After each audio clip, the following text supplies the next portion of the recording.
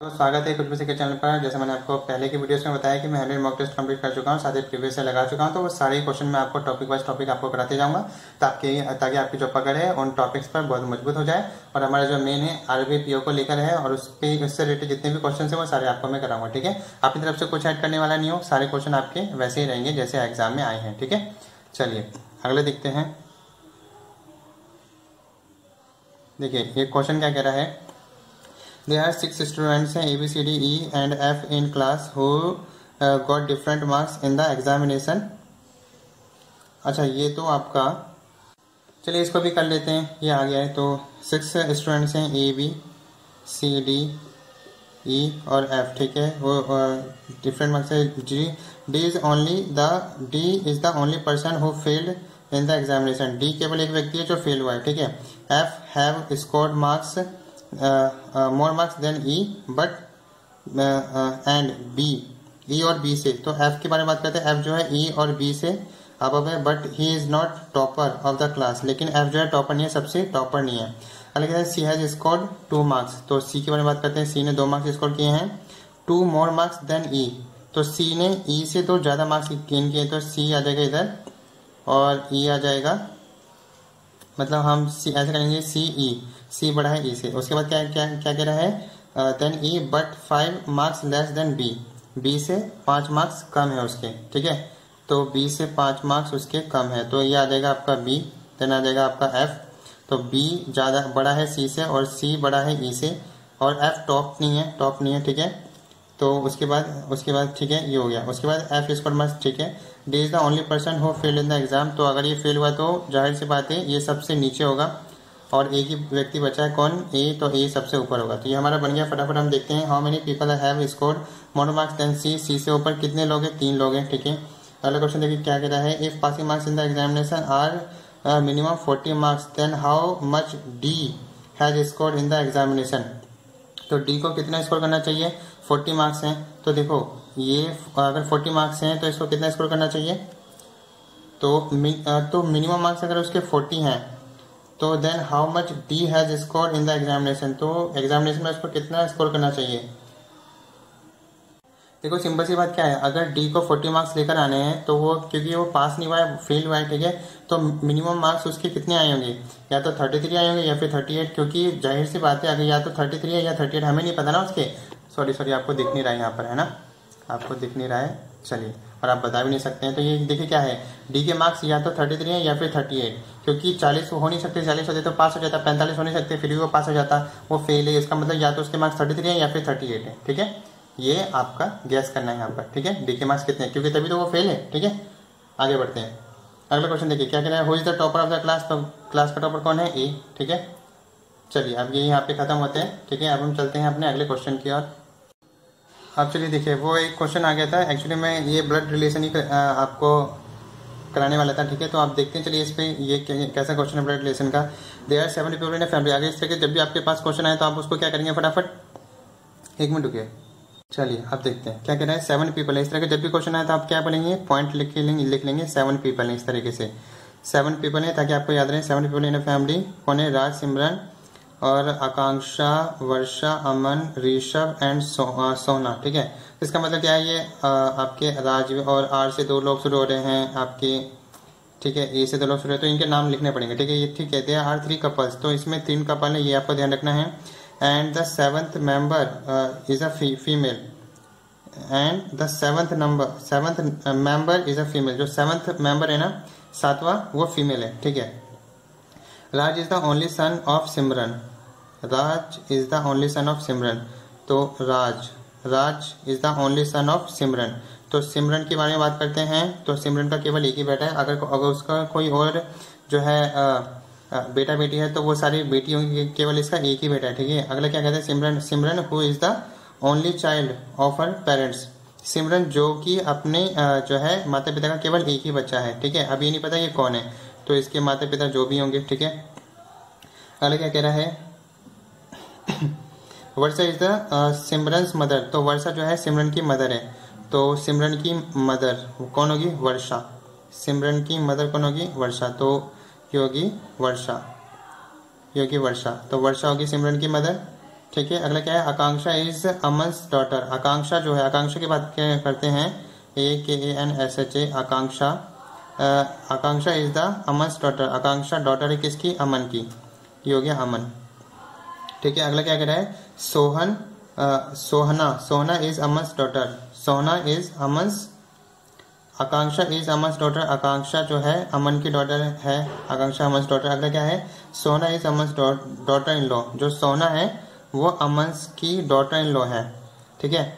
तो अमन की daughter in law तो ज़ाहिर सी बात, इसका कोई बेटा होगा। ठीक है? इसका कोई बेटा होगा और उस बेटे का क्या होगा? Sohna S O H A N A Sohna daughter in law तो ये आ गया, ठीक है? Daughter Rishabh is married to Varsha तो ऋषभ आ गया यहाँ पर। S H A B Rishabh ये आपका फीमेल मेल हो गया। Rishabh is married to Varsha and Varsha is Akanksha maternal grandmother Varsha जो है वर्षा जो है आकांक्षा की मैटरनल ग्रैंड मदर है। तो मैटरनल इसकी ग्रैंड मदर है, ठीक है? ग्रैंड मदर तो ज़ाहिर सी बात है, अगर मैटरनल ग्रैंड मदर है मतलब क्या हो गया कि ज़ाहिर सी बात है, अमन अमन की शादी फिर किससे हुई होगी? ये सिमरन से हुई होगी। सिमरन इसकी क्योंकि इकलौती बेटी है, ठीक है? ये इकलौती बेटी हो गई इसकी। तो इसका, ये अमन की मैटरनल तो मदर की, क्या है? ये इसका बेटी ये आकांक्षा इसकी लड़की हो गई, ठीक है? और सोना की शादी बोलो किससे होगी? सोना की शादी राज से हो गई है, ठीक है? सोना की शादी किससे हो गई? क्योंकि ये और ये दोनों बहनें हैं, और सोना की शादी इससे हुई, क्योंकि डॉटर इन लो है तो ये आपका क्या हो जाएगा? सोना की शादी राज से हुई है तो यहाँ पे आ जाएगा राज। ठीक है? तो ये सारे हो गए एक, दो, तीन, चार, पाँच छः सात। तो सात हो गया। अगर देखो क्या करें choose the correct couple from the following तो ऋषभ और सिमरन, ऋषभ, सिमरन कपल नहीं है, अमन और सिमरन, अमन, सिमरन। हाँ अमन, सिमरन कपल है तो सेकंड आपका बी आपका राइट है।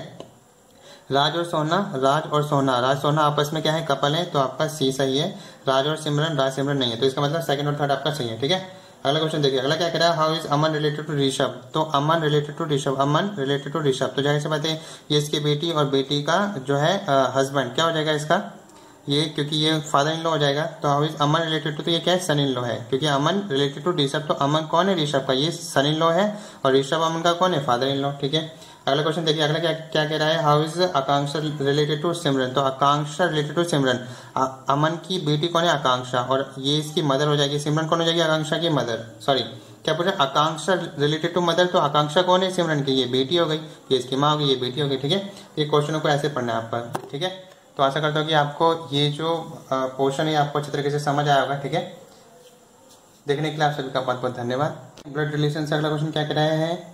In a family of six people जैसे आपको बोले सिक्स पीपल तो फटाफट बना लो ताकि आप कंफ्यूजन में ना हो कि कितने लोग थे। Six people from three generation तीन जनरेशन है उनकी तो ऐसे लिख दिया हमने इज़ टू मैरिड कपल तो दो मैरिड कपल है इसमें। ठीक है, Riya is the sister in law of Pankaj. तो रिया जो है, अरे भाई, रिया सिस्टर इन लॉ है। सिस्टर इन लॉ है किसकी? पंकज की। तो ज़ाहिर सी बात है हम इसको कैसे लिख सकते हैं? या तो ऐसा होगा कि इसकी जिससे शादी होगी, उसका जो भाई होगा, कौन है? पंकज है। ठीक है? उसका भाई कौन है? पंकज है। सॉरी यहाँ पे दिख नहीं रहा है आपको तो मैंने ऐसे कर दिया, ठीक है? इसको थोड़ा इधर ले आते हैं। चलिए, अब दिख रहा है आपको, रिया जो है पंकज की सिस्टर लॉ तो रिया की जैसे शादी होगी, उसका भाई होगा, जो उसका वो क्या हो जाएगा? सिस्टर लॉ हो गया। सॉरी पंकज की सिस्टर लॉ रिया हो गई। अगले क्या है? पंकज हु इज़ अनमेरिड अच्छा पंकज जो है अनमेरिड है। अगले क्या कह रहा है? Piyush is the only son of Mohan. Piyush is the Piyush is the only son of Mohan. Mohan का सन है। Seema is the grandmother of Ansh. Seema is the grandmother of Ansh. तो ये आपका क्या हो गया? अंश। ए N S H अंश। अंश की ग्रैंड मदर इसके जो पापा हैं, उसकी मदर तो सीमा होगी इधर। Seema is the grandmother of Ansh. How Pankaj related to Seema? ठीक है? How Pankaj is related to Seema अब देखो यहाँ पे क्या पीयूष आ रहा है। ठीक है तो मैं किसको क्या करता हूँ? मैरिड कपल ना? तो मैरिड कपल के अकॉर्डिंग मोहन आ गया सीमा आ गया। तो मैं क्या करता हूँ? रिया। रिया और ये अंश। अंश के बारे में बात करते हैं क्योंकि देखो मैं आ, दो जो है कपल हैं। दो कपल हैं तो कैसे हो सकते हैं? इसको मैं इधर लिख जाता हूँ। ये आपका हो गया आ, सीमा। सीमा ये हो गया अंश। पीयूष, ये आपका पीयूष हो गया तो पीयूष आपका आ जाएगा यहाँ पर। P I Y U S H Piyush आ गया यहाँ पर, ठीक है? और पीयूष का पापा कौन हो गया? मोहन, ठीक है? ये आपका मोहन हो गया, ठीक है? और ये उसका अंश अंश जो है अंश, ठीक है? ये उसका पापा हो गया, और इसकी मदर कौन होगी सीमा सीमा इसकी मदर हो गई। और पीयूष पीयूष का बेटा कौन हो गया बच्चों? अंश ए एन एस एस अंश हो गया, ठीक है? ये हो गया अंश, ये हो गया अंश यहाँ पर, ठीक है? तो सिक्स पीपल हो गए तीन जनरेशन होगी, एक, दो, तीन तीन जनरेशन होगी अंश आ गया यहाँ पर, पंकज आ गया यहाँ पर अंश आ गया यहाँ पर, ठीक है? तो पहला क्वेश्चन क्या पड़ा? How is Pankaj related to Seema जो है, पंकज जो है सीमा से किस तरीके से रिलेटेड है? तो पंकज क्या हो सकता है? डॉटर ठीक है? एक बात हमने यहाँ पे छोड़ दी, इसने क्या कहा था? पीयूष, इसने क्या कहा था यहाँ पर? अगर मैं यहाँ पे बताऊँ तो Piyush is the only son of Mohan. Piyush जो है केवल एक लड़का है मोहन का। मोहन का एक लड़का पीयूष हो गया तो पंकज क्या हो जाएगी? उसकी बेटी हो जाएगी, ठीक है? पंकज उसकी बेटी हो जाएगी और अंश जो है, उसका जो है पीयूष का बेटा हो जाएगा। तो क्या कह रहा है? How's Pankaj related to Seema? तो पंकज, सीमा से किस तरह से रिलेटेड है तो पंकज कौन होगी? बेटी हो जाएगी। किसकी? सीमा की। अगला क्वेश्चन देखिए, अगला क्या कह रहा है? How is Ansh related to Riya? तो अंश जो है रिया से किस तरीके से रिलेटेड है? तो उसकी माँ है वो। अंश किस तरीके से रिलेटेड रिया तो अंश कौन होगा? आपका अंश के बारे में कुछ नहीं बता सकते कि ये डॉटर है, ठीक है? ये डॉटर है या फिर सन है? अंश के बारे में नहीं बता सकते ये डॉटर है या सन है तो आपको देखने होगा, मैं यहाँ पे लिख देता हूँ, अंश हो गया, ठीक है? अंश रिया से किस तरीके से रिलेटेड है तो अंश के बारे में कोई इन्फॉर्मेशन नहीं है डॉटर या फिर क्या है सन है, ठीक है? अगला क्वेश्चन देखिए, अगला क्या कह रहा है? What can be the minimum number of male member in the family अब अब मिनिमम का है तो इसका मतलब क्या है? देखो, इसको भी हम क्या कर देंगे, इसको फीमेल बना देंगे, क्योंकि मिनिमम का है इसमें तो मिनिमम कितने होंगे देखो, एक, दो। तो मिनिमम आपके दो ही हैं, ठीक है? अगर ज़्यादा बोलता तो हम इसको बढ़ा सकते थे, हम इसको नहीं क्योंकि मिनिमम बोला है इसलिए हम जितने हैं उतने काउंट करेंगे। अगर मैक्सिमम बोलता तो मैक्सिमम में ये आपका मेल बन जाता तो आंसर क्या जाएगा आपका दो, ठीक है? तो आशा करता हूँ कि आज की कहानी बहुत ही इंटरेस्टिंग रही होगी, ठीक है? थोड़ा सा हो गया ये, इधर आप देख लेना कैसे कैसे तो क्वेश्चन को आपको अच्छे से पढ़ना है, बहुत ही अच्छे तरीके से क्वेश्चन को कर पाएँगे, ठीक है? आप सबका देखने के लिए बहुत बहुत धन्यवाद।